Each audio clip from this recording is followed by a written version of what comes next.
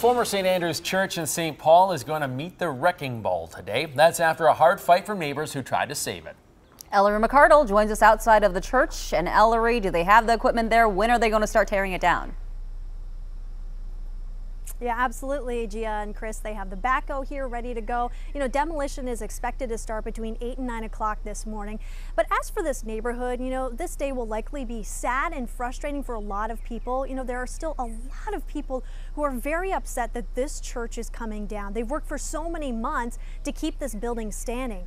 Well, the Twin Cities German Immersion School owns this building and it plans to turn the space into a new gym, cafeteria, more classrooms, and a meeting space for students with special needs. And it's set to open next school year. Now, in the past few months, we've shown you the protests from people who tried to save the church. They even tried making it an historic landmark, but the St. Paul City Council rejected that proposal. So there's been a rift between the school and neighbors, but school leaders hope the relationship can be mended. I mean, there are and will be some, some wounds from this whole process, but we're, we're hopeful that over time we can, you know, continue to be a good neighbor and a successful school and that people will see that.